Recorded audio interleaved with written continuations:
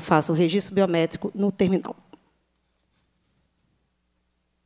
Suspendo a reunião por alguns minutos.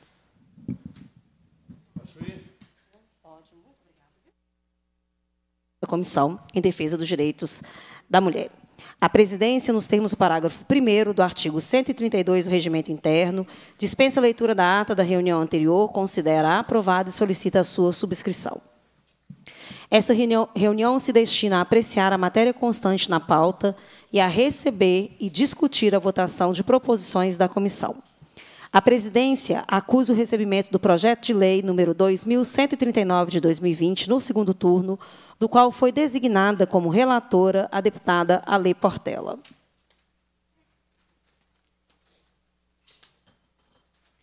Passa-se a primeira fase da ordem do dia, que compreende a discussão e a votação de pareceres sobre a proposição sujeitas à apreciação do plenário. Sobre a mesa, requerimento da, de autoria da deputada Ali Portela, solicitando a retirada de pauta do PL 365 de 2023. Nos termos do artigo 131, parágrafo 1 com o artigo 32, terceiro do RI, do Regimento Interno. Em votação o requerimento. As deputadas que aprovam permaneçam como se encontram. Aprovado. Passa-se a terceira fase da ordem do dia, que compreende o recebimento, a discussão e a votação de proposições da comissão. Sobre a mesa, requerimentos de várias deputadas. Farei a leitura em bloco para aprovação. Uhum. Isso. Requerimento número 7.285 de 2024, de autoria coletiva das deputadas Lohana, deputada Li Portela, deputada Ana Paula Siqueira, deputada Andréa de Jesus, deputada Beatriz Cerqueira, deputada Bela Gonçalves, deputada Chiara Biondini, deputada Sheila, deputada Ione Pinheiro, deputada Leninha, deputada Lude Falcão, deputada Macaé, deputada Maria Clara, deputada Nayara Rocha e deputada Marli Ribeiro, bancada feminina requer seja realizada visita à Polícia Civil de Minas Gerais, na presença de sua delegada-geral, doutora Letícia Batista Reis, no município de Belo Horizonte, para tratar de ações voltadas ao enfrentamento à violência contra a mulher no Estado de Minas Gerais, bem como para identificar possíveis demandas para a composição do plano de ação ao enfrentamento da violência contra a mulher, liderado pelas parlamentares que subscrevem.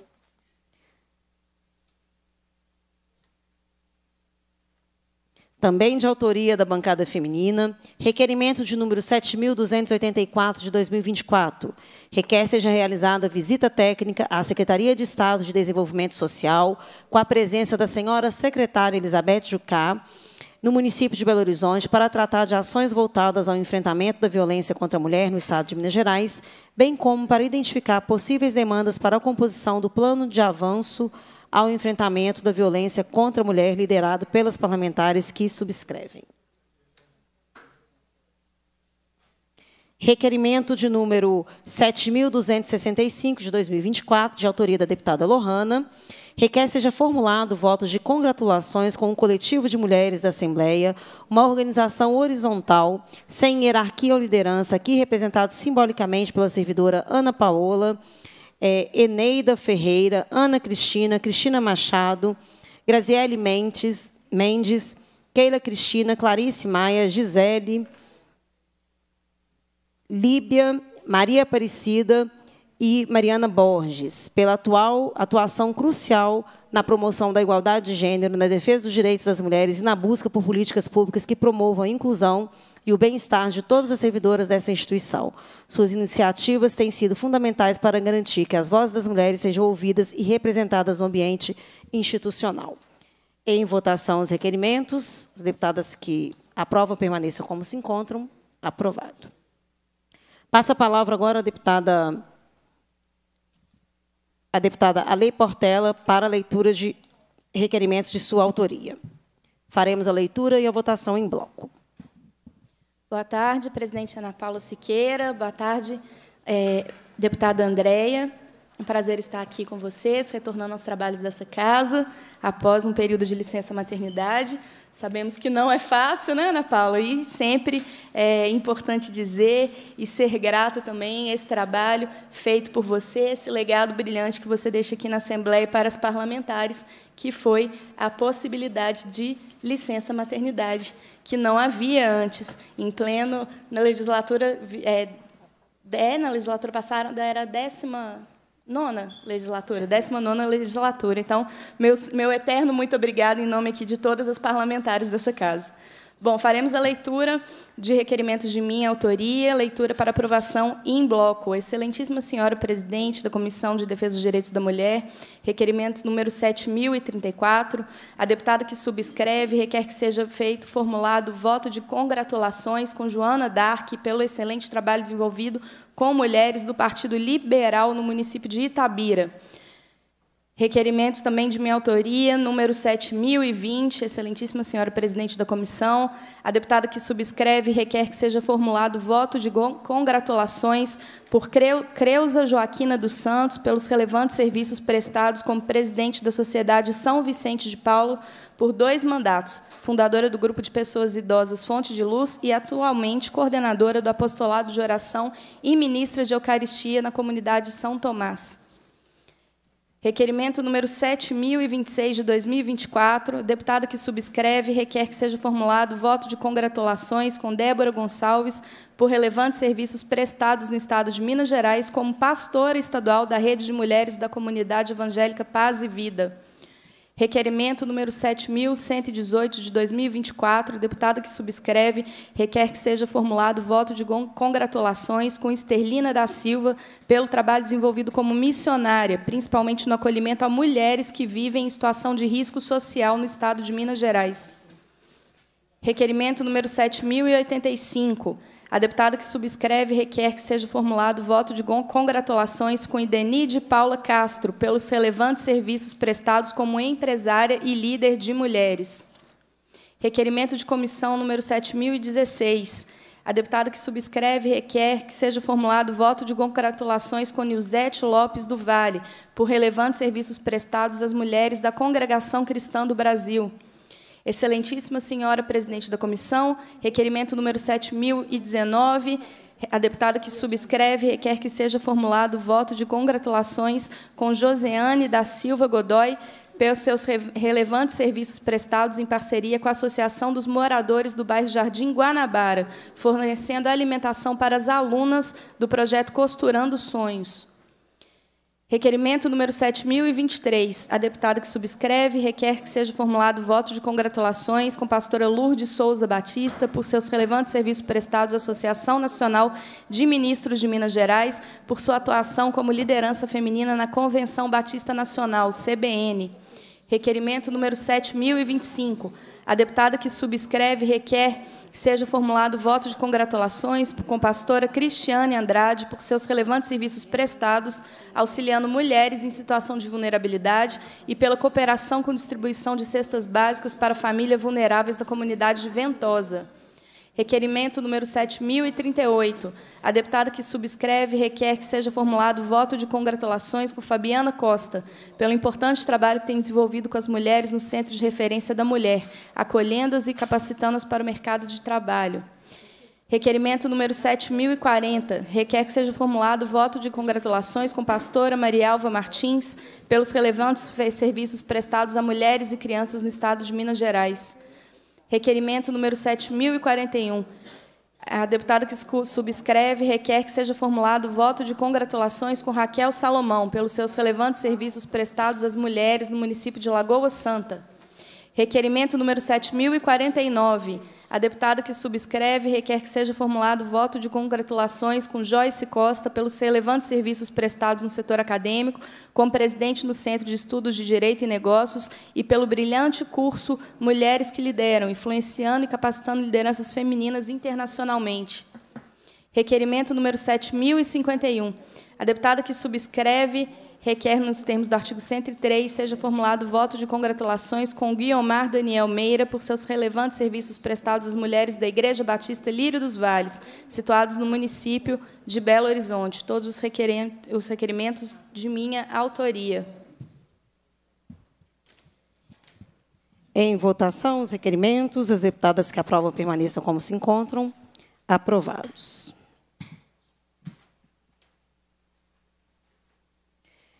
Antes de finalizar aqui a, a nossa comissão, eu gostaria de trazer, e antes de passar a palavra também às colegas deputadas, eu gostaria de trazer aqui é, e reafirmar o convite para a atividade do Sempre Vivas 2024, é, essa atividade que a gente realiza todos os anos, uma atividade institucional da Assembleia, em parceria com a Comissão em Defesa dos Direitos da Mulher. Esse ano, Sempre Vivas traz como lema é tempo de reconhecer o valor das mulheres. E temos para essa atividade várias é, intervenções, várias ações que demarcarão aí o Dia Internacional da Mulher, o mês né, de março, o mês da mulher.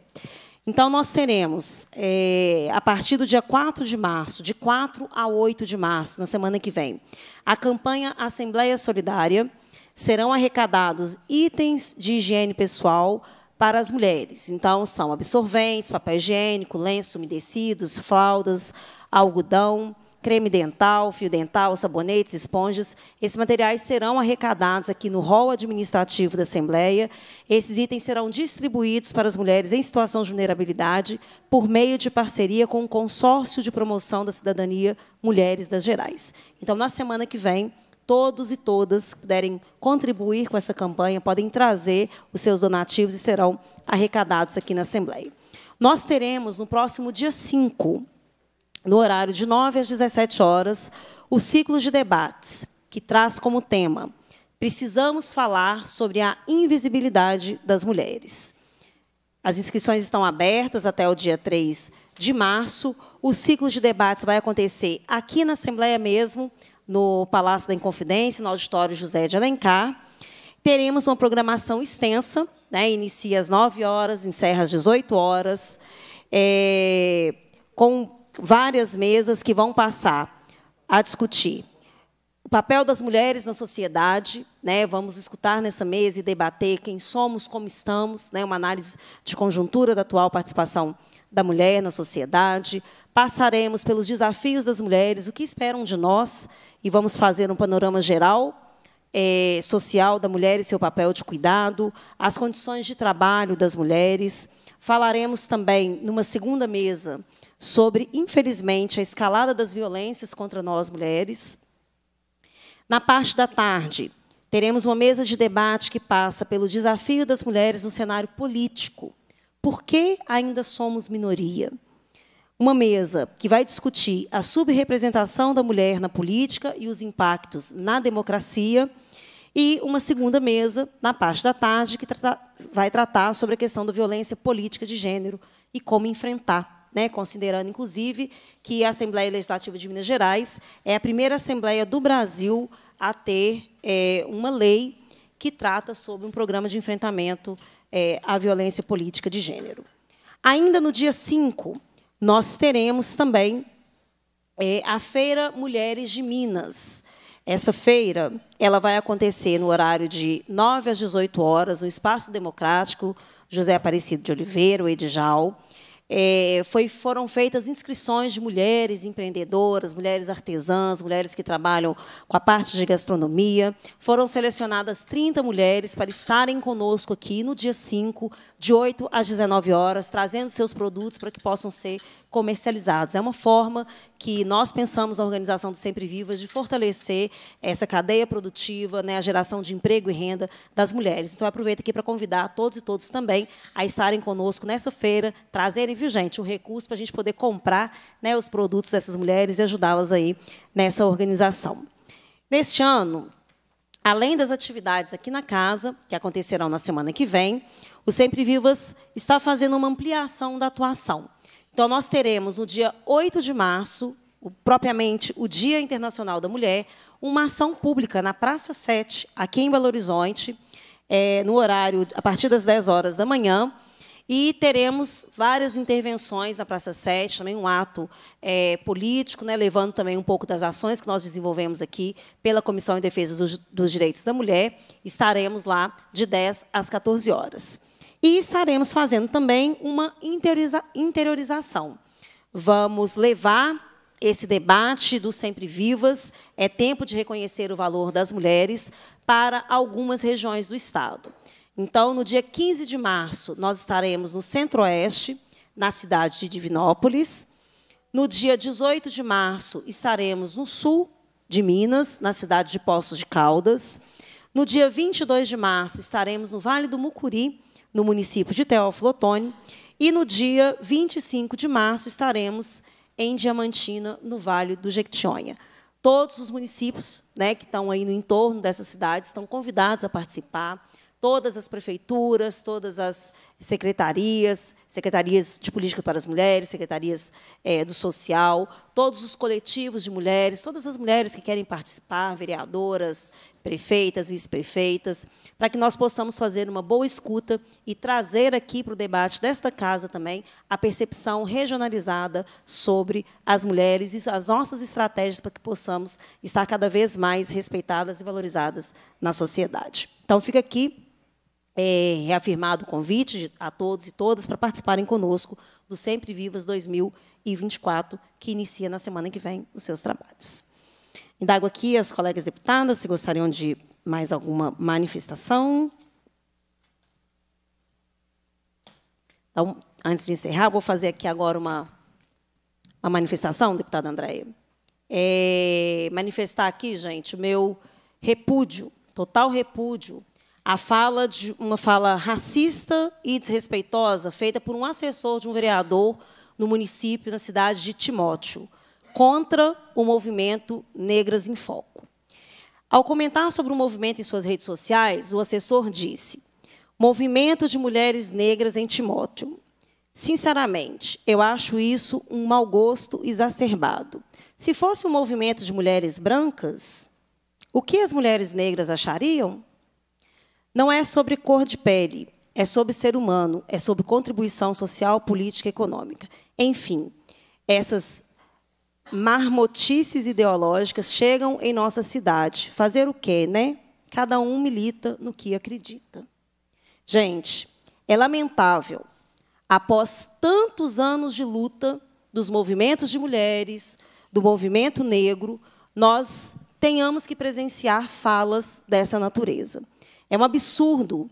E ainda mais de um funcionário, de um vereador da cidade, alguém que deveria estar trabalhando para promover o bem-estar social. Ainda vivemos em uma profunda desigualdade de gênero e raça no Brasil. Por isso, precisamos fazer esses recortes. O que achamos da interseccionalidade? Entender que diferentes marcadores sociais impactam diretamente na garantia e acesso a direitos. Eu tenho alguns dados aqui que eu gostaria de compartilhar. Para cada mulher negra em um cargo de ensino superior, existem três homens brancos. Isso é um estudo do IPEA. Em relação ao feminicídio no Brasil, dados do 15º Anuário Brasileiro de Segurança Pública apontam que duas em cada três vítimas são mulheres negras. Segundo o levantamento do Centro de Estudo das Relações de Trabalho e Desigualdade, 41,5% das mulheres negras estavam subutilizadas no mercado de trabalho no fim de 2021, enquanto entre os homens brancos era cerca de 18% no mesmo período. Infelizmente, essas são apenas algumas das situações que fazem parte da história das mulheres negras no Brasil. E eu quero aqui em nome da Maria Eni dos Santos, idealizadora do projeto, Daiane Cristina, Nayara Egídio, Ladia Oliveira Tainá Marçal, doutora Cristiana Madureira e a doutora Maria do Carmo Lima, eu gostaria de prestar minha solidariedade a todas que compõem o movimento Negras em Foco. Comportamentos como esse só reforçam a necessidade do trabalho que vocês realizam inclusive da importância de, no mês de março, onde celebramos o Dia Internacional da Mulher, data para jogar luz a esses desafios que ainda persistem e fazem debater estratégias para avançar cada vez mais na construção de uma sociedade mais justa. Enquanto presidenta da Comissão em Defesa dos Direitos da Mulher, quero reafirmar o meu compromisso e dizer que estamos nessa luta contra o racismo e contra o machismo. Queria ainda registrar que eu e a deputada Andréa de Jesus, aqui presente, fazemos parte da primeira legislatura a eleger mulheres negras na história do nosso Estado.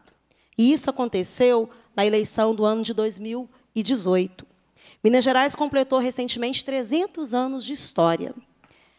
E aí, Andréia, eu posso te afirmar, se esses encontros de mulheres negras tivessem acontecido né, no passado, há décadas atrás, se a gente tivesse fortalecido esse movimento, certamente não se levaria 300 anos para que nós estivéssemos aqui nessa Assembleia. E é com muita consciência da responsabilidade que nós temos nessa atuação que eu faço esse repúdio a esse comentário racista e machista. E é por esse tipo de comportamento que a gente percebe o quanto o racismo está impregnado em nossa sociedade e o quanto nós ainda precisamos lutar para que ele não tire o direito das pessoas é, e não mate as nossas pessoas.